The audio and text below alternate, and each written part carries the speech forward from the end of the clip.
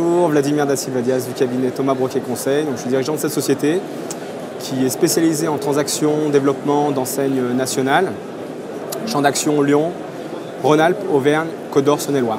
Sur l'activité, donc concrètement, nous ce qu'on fait, c'est qu'on a des porteurs de projets qui viennent euh, nous consulter euh, pour euh, pouvoir créer leur projet et ouvrir des magasins. Donc on fait le travail en amont, on, les, on, leur donne leurs préconisations sur, sur le choix de l'implantation, sur la commercialité des villes.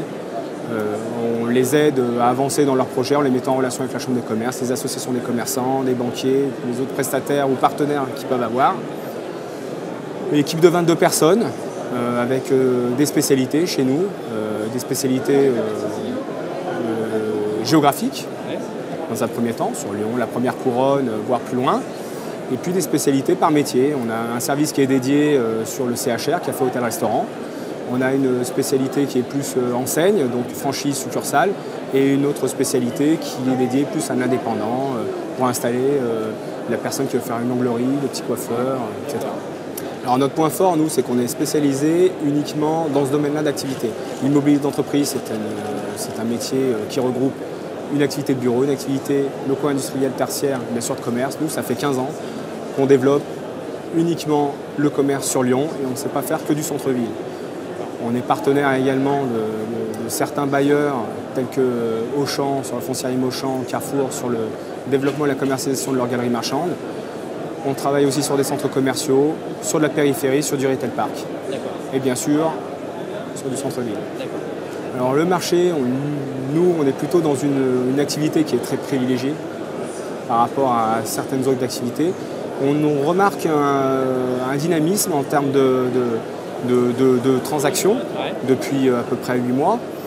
Bien sûr, les, enseignes qui se développent, c'est principalement des, des, enseignes étrangères. On a une équipe de sourcing, nous, en interne, euh, qui, sourcent les enseignes qui se développent euh, à l'étranger et qui voudraient pénétrer le marché français, soit par le biais de la franchise ou, euh, en propre.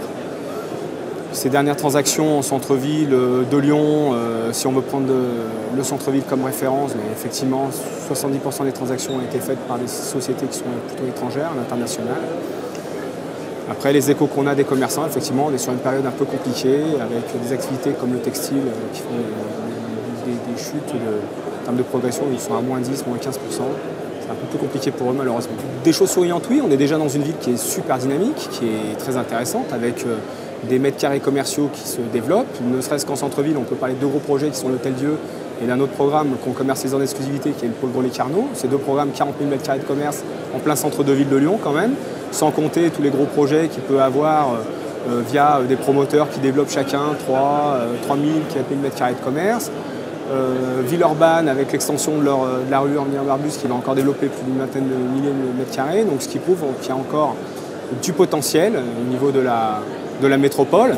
Et puis surtout qu'on a un attrait, des listes d'attente sur les bons emplacements, des enseignes encore peu présentes, voire pas présentes euh, sur la ville de Lyon, donc euh, que du positif.